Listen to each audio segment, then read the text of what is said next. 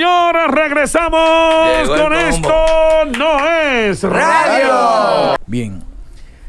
La, la metáfora más utilizada por el ser humano cuando alcanza el éxito es llegar a la cima. Todo lo vemos como el gran reto, llegar a la cima y lo usamos siempre metafóricamente, pero hay personas que lo hacen literal, como dicen los popis.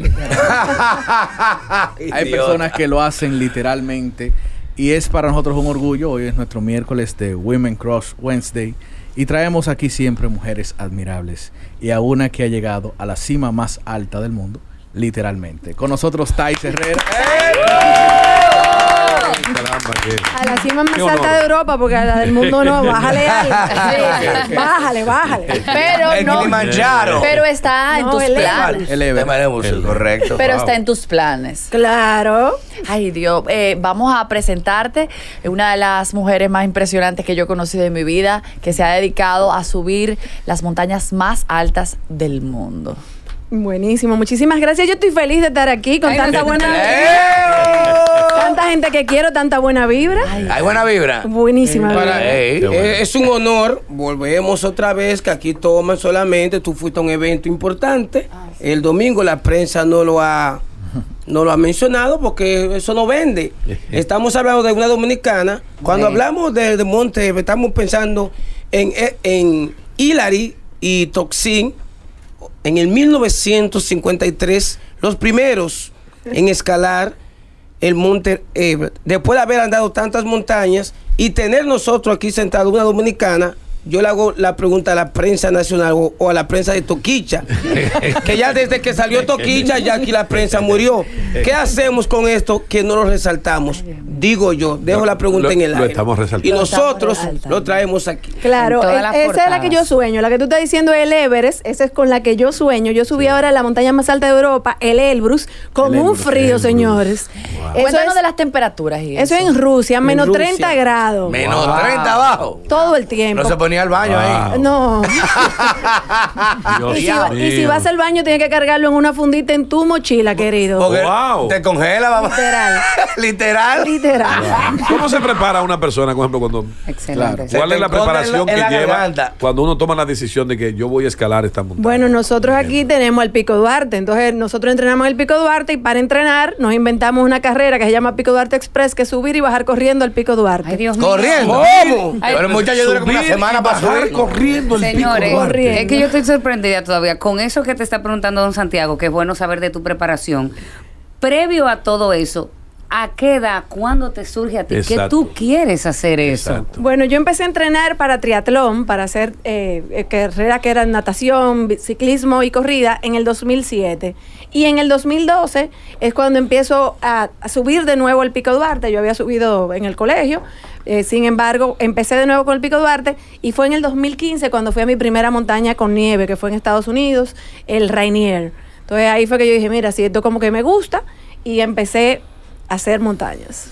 Tú comentaste una vez que fue porque tuviste un anuncio en una revista que decía se regala beca para subir montaña con glaciares y tú aplicaste y te la dieron la beca. Así Cuéntanos mismo, de mi eso. hijo entonces se encuentra, yo había dicho que quería subir, yo, tú sabes, dije, no, yo lo que sueño es con subir el Everest. Y entonces mi hijo se encuentra en una National Geographic que yo le paso para recortar. Se encontró con eso, yo apliqué a la escuela de glaciares y fui a mi escuela de glaciares y ahí me encantó, o sea, me pusieron con botas, con todo apretado, señores. Ustedes saben como el dominicano, ¿verdad? Yo no sé lo que me gusta, y que Gaby, préstame unos pantalones, Ariel, tú tendrás un abrigo. Yo parecía, tú sabes. Tú logras subir la cima más alta de Europa. Dice que tu sueño es el Everest. ¿Cuál es la diferencia? Si- ¿Qué es lo que te falta ahora? ¿Entiendes? Que tú dices, bueno, ya para el Everest me falta un chisma de preparación o conseguir la forma de ir. ¿Qué te falta? Siempre falta un poco más de preparación y de hecho, viniendo al nivel del mar, yo trato de todo el tiempo estarme entrenando y visitando montañas más eh, asequibles para mí, pero realmente lo que me falta... Mira, explica eso para que la O sea, gente entienda. Viniendo del nivel de mar, para que la gente entienda cómo es la diferencia entre estar en una, un país donde está por encima del nivel del mar, cuyas temperaturas y fluctuaciones son distintas, hasta la relación climática, a tú venir de un país tropical Exacto. a bajar a menos 30 grados. ¿Cuál es la diferencia de eso? Te sangró la nariz, te resecaste. Imagínense esta caribeña que viene de, de que le gusta bucear, de el mar y demás, y entonces llega a estos países que son muy elevados, entonces uno puede sufrir lo que se llama mal de altura. Claro. Entonces cuando uno va subiendo, si yo vengo de cero eh, metros sobre el nivel del mar y quiero subir a casi seis mil metros, eh, lo que a uno le puede, el cerebro y los aire. pulmones se le Sí. pueden inflamar Ay, y la gente se puede hasta morir, entonces hay que irse preparando. Y la preparación es lo que yo he estado haciendo, por eso voy subiendo montañas más sencillas. Sin embargo, lo que me hace falta ahora es apoyo económico. Porque Dinero. realmente- Ay, Exacto. mamacita. ¿Cuánto Exacto, cuesta? ahí es que vamos. ¿Cuánto Vamos, vamos a cuesta? hacer ese llamado aquí. ¿Cuál allá es la- vamos. ¿Cuál es la inversión eh, para más o menos hacer este tipo de, de, de aventuras? Depende de la montaña. Por ejemplo, las dos que yo he hecho son las dos más baratas, porque tú sabes que ha sido eh, eh, a base de- del bolsillo, ¿verdad? Cu- Cuando hablamos de barata, como Sí, cuánto cua- estamos hablando? Bueno, esta, la expedición, eran unos 1.400 dólares. Ah, no, pero eso no es- Ah, no. Eh, Esta era la expedición en la más barata de todas las de las siete cumbres. Ok. Sin embargo, tú tienes que subirle el boleto a Rusia, todo lo que es la preparación, entrenadores, eh, nutrición, todo lo demás. el, el equipo, la ropa es carísima. Entonces, eh, todo ese tipo de cosas. Pero claro, ya después tú vas a una a Concagua, que son 5 mil dólares. Denali, que es la siguiente, que, una de las siguientes que queremos hacer, que son 10 mil dólares. La expedición, o sea, quítale todas las otras cosas que te dije. Sí, porque tú tienes entrenadores. eh, Claro. Un equipo. Un equipo personal. O sea, la economía, como dice Ariel, tipo Adán y Eva, costillas récord, para que ustedes sepan, o sea, que eso es muy importante. Wow. Y que hiciéramos saber dentro de estas experiencias, viviéndolas, qué ha sido lo más difícil. Eh, ¿Has tenido que luchar para fortalecer también eh, esa capacidad mental? Esto es 100% mental. De hecho, yo al principio, por lo que lo, ha- lo hago mucho a costillas récord, como dicen ustedes, es porque para mí fue terapéutico. En el 2018 mi esposo enferma de cáncer y fallece. Y entonces Wow. cuando yo me voy a mi primer, a mi siguiente montaña, o sea, yo del 2015 al 2018 no fui a ninguna montaña, pero a los tres meses del fallecer me voy a hacer una montaña en Ecuador como terapia. Y ahí conozco a uno de los montañistas más famosos del mundo, Karegloff, y él me dice, no, de verdad, tú tienes madera para subir montañas, que ya me lo habían dicho unos amigos de Karim Mella. Entonces yo empiezo a ir a nuevas montañas. Y lo más difícil que me pasó además de que, bueno, esas primeras fueron eh, terapéuticas y, muy retadoras, es que en el 2019 yo intenté subir el Aconcagua, la más alta de América, que son casi 7000 metros. Siete kilómetros para arriba. Casi siete. Diablo. 6.962. Y entonces ahí nos tomó una tormenta y yo estaba en el medio de la montaña, me faltaban solamente 300 metros de elevación para llegar, que eso es como dos horas, tres horas caminando, o sea, no, no es tan sencillo. Y, y nos dijeron, no, o sea, tomen la decisión, pero lo recomendable es bajar. Entonces ya yo, tú sabes, a cotilla récord, eh, tomando, de ahí. sacando el tiempo uno del trabajo, porque tú sabes que tengo que trabajar, entonces eh, de- devolvernos, o sea... Y en ningún momento tú pensaste, por ejemplo, subiendo subiendo ahora el Ebros en, en Europa, una adversidad, esa tormenta, y tú dices, caray, me voy a morir, me- temiste por tu vida, pensaste que te podía pasar algo, y dije, vámonos para adelante o me devuelvo esta vaina. ¿No llega tu momento así? No, en esa ocasión en el Elbrus yo agarré y dije, bueno, la montaña sigue aquí, y agarro, me dieron una pastilla de humildad, porque tú sabes que lo que te dan es Una pastilla de humildad. En- ajá, en mil. Humildad ricina, Así humildad mil. ¡uh! Entonces tú te la tomas, es roja.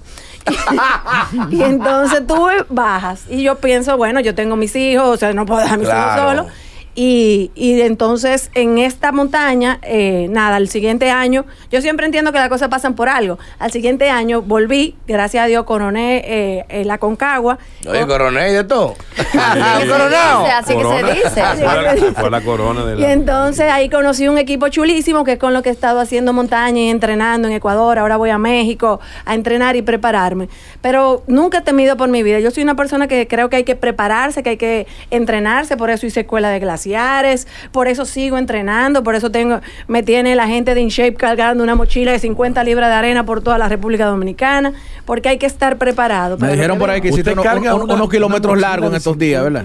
Yo me tiré porque ya te- 107 como kilómetros 107 kilómetros a pie. este fin de semana. Tú estás relajando. Sí. A pie, a piecito. Y con una mochila, porque ella tiene que cargar una Pero, ¿y mochila más así? pesada que con la que ella anda. Yo me imagino, yo me imagino Este eso. fin de semana estábamos haciendo una 107. prueba para la. Con para un saco de sal atrás. Eh, bueno, en este andaba con mi comida y demás. Y salimos con todo el staff del evento, del Pico Duarte Ultra.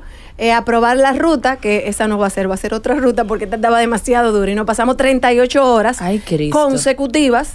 O sea, con un descanso de 20 minutos y otro de 30 minutos con un sueñito, una, un No, eso no aguanta nadie. En el medio de la calle, de que aquí, de que "Bueno, voy a contar. Tú sabes que Thais, Wow. también es, que es bueno que la gente sepa que tú estás haciendo esto acompañado de un, de un proyecto cinematográfico. Tú que estás haciendo, tratando de hacer como un documental Sí. de una dominicana subiendo todo esto, que me parece una idea espectacular. Cuéntame de eso. Sí, entonces eh, sometimos a la ley de cine un proyecto, que eso también es interesante para las empresas, porque hay algunas que te dicen, no, que por patrocinio no, entonces, bueno, no hay ninguna que haya dicho que por algo sí, pero estamos esperando esa. Entonces tenemos la alternativa tanto de la parte de, de siete cumbres con temas de apoyo por patrocinio o de ley de cine para tres polos. Dios mío. Wow. Ah, porque tú también vas para los polos. Dios mediante. Ay, Dios mío. Yo entonces, ¿Tú eh, vas para el polo, para el norte, para el sur? Es el plan. Pero hiciste la escuela de glaciares. Eh, Yo hice ahora, escu- Esa bueno, he hecho varias veces escuela de glaciares. Eso hay que mantenerse entrenando. Como los primeros auxilios, que uno lo hace cada dos años. uno- Wow. Escuela de glaciares que te enseñan que si tú A te vas en el Ártico. si tú te vas a caer en la montaña, cómo tú te aseguras, Cómo te agarras, claro. Entonces, que- Wow. cómo tú ma- te manejas eh, atravesando una grieta. Entonces, es mantenerse seguro. Yo no me puedo... Atravesando grietas y todo. Sí. ¿Qué cruzan la grieta que Ay, un ¿qué- hoyo? sí, ¿Qué tú crees? ¿Y qué tú- Ah, sí. Ah, Es a menos No, 30. yo no puedo decir. No, y pero no también la altura y la vaina. Pero es una montaña. Dice que una grieta que cruza, salta ahí, pega. Ah, no, pero así no, y de, la, Casal y de la Deportivo. que son en escalera, Casal, esas son mejores. En escalera cruza una escalerita de, de metal y entonces tú vas cruzando y te dicen, no, mire para abajo que eso está lejos. No, no, señor. Wow, usted. usted no usted- llegamos ahí, ¿no? Señor, y, y lo que más Yo me, me llena de orgullo es que esta mujer, todo lo que ha hecho, anda con su bandera dominicana. Y si ustedes van a sus redes sociales, ella, donde sea que va, lo primero que hace es poner su banderita dominicana y tirarse su foto. Y la verdad que eres una gran representante de la mujer Gracias. dominicana. Yo ando con tres banderas porque tú sabes que me ha pasado que en la bandera se queda en la mochila. Tengo una, tengo otra mochila, una adentro de la mochila repuestos. y una aquí arriba. No, porque a veces tú dejas la mochila de que un chingante y tú dices, y tengo que devolverme a buscar la mochila por la bandera. Ya. la tiene ahí, ahí en la La guardé aquí por si acaso. No yo quiero hacerle, eh, eh, excúseme, aquí no, aquí no estamos en bandera.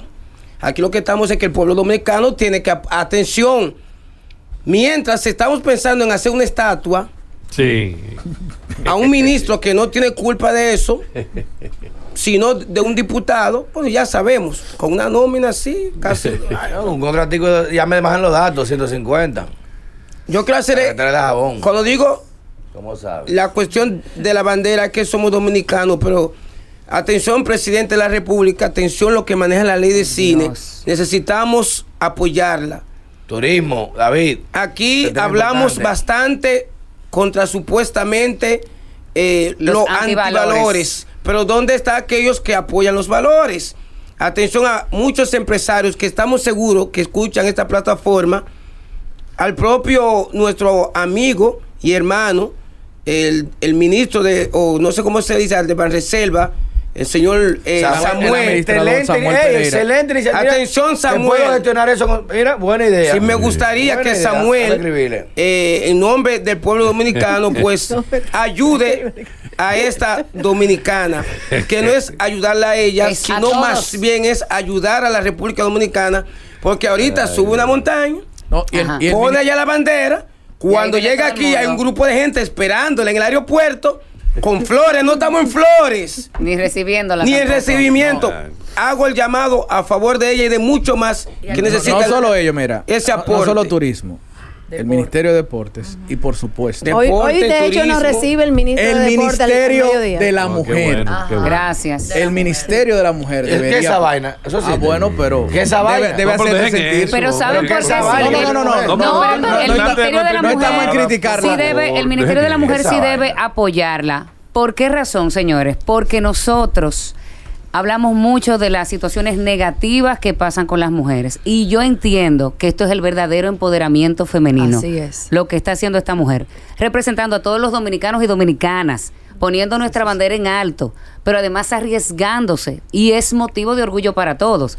Ella no debería estar, estar ella no debería estar sin patrocinio. Atención, señores. presidente, antes de usted cerrar ese El reserva ministerio, que no está haciendo nada el ministerio de la ¿Y MS. qué es esa vaina? ¿Eso Eso no sirve? don Santi, de por Señores, Dios. aparte, me encantaría también.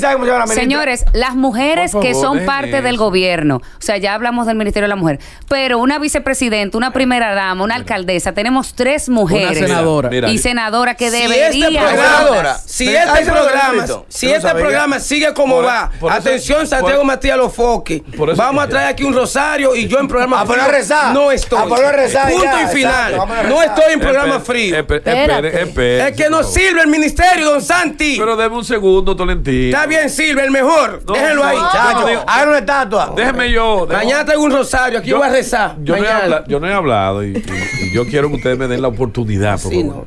Porque yo sé que ahorita me van a dar hasta con el cubo. Nos están, li- nos, nos Y a están mí- y a limitando. mí me encanta no que me den. Mira, yo creo, yo que creo que más que el Soy gobierno, el gobierno, las instituciones privadas tienen un compromiso. El empresariado. El Creso, empresariado. atención. O sea, aquí nadie le hace, aquí nadie le exige al empresariado nacional que tiene muchísimas concesiones y muchísimas y muchísimas ventajas y privilegios en este país. Así es. El que una compañía, el que un supermercado, el que un grupo de, de compañías se involucre dentro de esto. Porque ahorita la, la, involucran a nivel político o, de, o del gobierno y quieren sacarle también beneficio. Quieren que se suba tal vez con una gorra de, No, no, no, de un no, partido, jamás. con una No, vaina. eso- Sabrá Dios, va. no, eso Buena no va. buena observación. Entonces, lo que Sí. yo entiendo, más que su condición de mujer, ¿verdad? Porque eh, este, yo siempre he dicho que la mujer es el sexo fuerte. Nosotros los hombres somos el sexo 100%. débil. Lo que las mujeres hacen de verdad, y yo lo digo porque yo lo veo a diario. Y ella no ha, da- no ha dado una muestra a nosotros, yo escuchando su historia, de, de cómo uno afronta a veces el dolor y, y- y- y- y la pérdida de familiares y cosas. En vez de ponerse a llorar, tirarse al suelo, abandonarse, ella pensó en algo diferente que pudiera ser bueno para su vida y para la gente que la rodea y para su comunidad, su país. Entonces, ese, eh, eh, eh, eso de ella que ella está haciendo, yo que he vivido en lugares donde hay montañas y yo sé que esto de subir montaña es algo que lo hacen las familias. Los norteamericanos suben montaña, ah, ella sabe que es así, constantemente. El En hiking, en el la verano, vaina. en el verano eso lo hacen ellos como una algo normal, natural. Pero lo que ella está haciendo y lo que y como ha estado eh, eh, ha, estado representando a nosotros como país y lo que ella representa para nosotros. De verdad que yo creo que más que el gobierno que tiene la obligación, no es que yo digo que el gobierno no, Tolentino, el gobierno tiene la obligación. Eso es real, es la obligación. Pero Santiago. nosotros la obligación, no diga que ten- o la es- responsabilidad. no hay que pedirlo, no, Más es que más que el gobierno. Oye, yo compro el supermercado y compro y hago gasto dinero en un montón de empresas privadas aquí que no le devuelven nada. Y todos a los la productos que, están ligados al deporte, todos los productos que Excelente están ligados al deporte. Claro, pueden- agua, eh, hay muchísimos productos de leche y cosas así que. Toda esa serías- gente pudiera muy bien, tú me Así entiendes. es. Porque me imagino los peligros. ¿Cuáles son los peligros que se enfrentan cuando usted dice voy a esa montaña, un ejemplo? Bueno, no tiene todo el tema de altura, como le decía. O sea, el cambio de elevación no- le puede dar eh, de- edema cerebral, edema pulmonar, el tema de riesgos de avalancha. Entonces, eso se tiene uno que educar mucho sobre clima y demás y tomar el, en qué día tú vas. Por ejemplo, ahora en Elbrus, nosotros cambiamos el día de cumbre. o ¿Cómo sea, usted se calienta? O sea, eh, un boquita, un No, es- algo para. Y es verdad que lo matican hojas de coco O algo. en Ecuador, Bolivia para en- subir. eh, sí, las hojas en de coca Sudamérica para poder aumentar la presión. Y se hacen té, se ha- hacen Ah, té, de coca. con la hoja de coca. Eh, Para el calentamiento. Para no, del para subir la presión. No. No, para, para manejar la altura. Eso es como algo muy típico en, en De ellos lo usan para, cultivar En Sudamérica. Yo me caliento con mucho abrigo, o sea, con bastante capa. Yo empiezo siempre con mi primera capa, que es una camiseta de la Fundación San Jude, de Jude Collection, de quien yo soy voluntaria de hace mucho tiempo. Yo dono ahí. Esa es mi primera, Ay, sí. esa es mi Esa es primera primera. camiseta. Y entonces después de ahí, ahora en Elbrus, por ejemplo, tenía siete capas. Que era un relajo de que porque no encuentro dónde que está la cámara, ni la comida, ni nada, porque estaba en la capa Siete lo que cuatro. la presión y siete ¿Y tú tienes, eh, tú tienes cuántos hijos? Yo tengo dos hijos. Dos hijos. Tengo uno que estudia ciencias ambientales en Canadá y tengo uno de 16, eh, de 17, perdón, recién cumplido, que ha sido selección nacional en fútbol. En fútbol, wow. Wow, qué bueno. Y, y- Muy orgullosa de ambos. y la verdad que yo Y me imagino que tú, eh, eh, hemos hablado de que a ti se te han congelado extremidades Los tratando dedos, de sí. hacerlo, que lo puedes perder. Sí, es. También Dios. el tema de, de- de las tormentas, de que has tenido que a veces dejar cosas botadas para poder subir. Yo me imagino que sobre todo para una madre, el poner en riesgo su vida es doble. Claro, no, y yo soy muy sacrificio. Consciente de eso. O sea, yo tra- yo siempre, como le decía, me entreno, me capacito, reviso el, el clima, voy con los mejores guías para garantizar que los riesgos sean mínimos. O sea, yo soy ingeniero industrial, yo trabajé en manejo de riesgos en mi vida empresarial. De hecho, mi vida empresarial todavía es bastante activa. Tengo una empresa asertiva RD en donde trabajo temas de capacitación, temas de team building y me llevo a la gente a vivir aventuras, a colegios eh, y sobre todo a, em- a empresas, a equipos de ejecutivos. Ah, yo lo que Ámbar me dijo que tú habías conocido por eso. ya. Claro, porque Qué yo, lo- yo les organizo a, lo- a las instituciones, me lo llevo de que a vivir una aventura sobreviviendo en el desierto. O- y me lo llevo a las dunas y hacemos actividades. Soy docente en Barna. Entonces tengo una vida que es bastante activa en términos de, trabajo. Wow, Dios mío. No, esa mujer, eso, esa es una mujer No, pero una admirable. mujer así. Esa mujer ¿Tú te admirable. imaginas uno de. Eso es yo- lo que si la esposa mujerón. mía, yo tengo una mujer así. Estuviera yo flaco atrás de ella. Santi, Santi, Santi. No, dijera yo, estuviera yo flaco, de verdad. Sí. Flaco. de- Oh. de- Bueno, Dios milagro, vamos a subir esa montaña, Dios mío. ¿Cuándo es lo del Pico Duarte Express? El Pico Duarte Express es el 4 de diciembre. En. Pico Duarte Ultra, en Instagram pueden encontrarlo o en mis redes, Tais Herrera o Asertivo RD, pueden encontrar información de todo lo que hacemos. El equipo Corriendo, de subirlo- Radio subir desde ahora se va a entrenar. Don Santi, vamos para allá. Ay, con para el ella. pico. Vamos para el Pico Duarte. Qué vergüenza voy a pasar yo cuando me tenga que quedar en la primera. Pero vamos a hacer. Pero.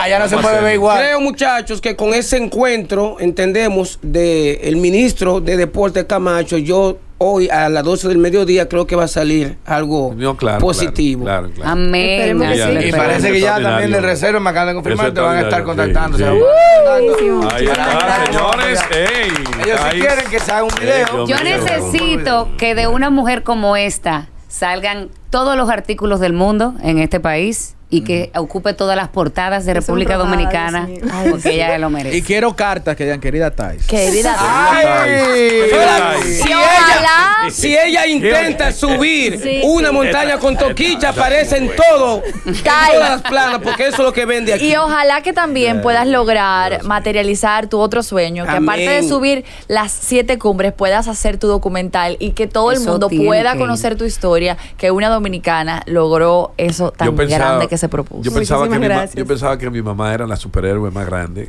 Y lo es eh, para ti. Porque ella ah, hizo Claro. muchas, co- muchas cosas. Pero usted le ganó. Imagínese usted, usted hijo de ella. Le ganó a mi Ah, No, no, y lo que, usted mi decía, lo que usted decía, el sexo fuerte de subir, Yo- tan, yo entiendo subir, que- subir tan alto y uno llega aquí a la tercera y se cree Rocky. Eso y yo. Llega desde el piso. Regresamos. ¿Qué tenemos? Regresamos. Gracias, Bravo, bravo. Eh, regresamos en breve. No se mueva.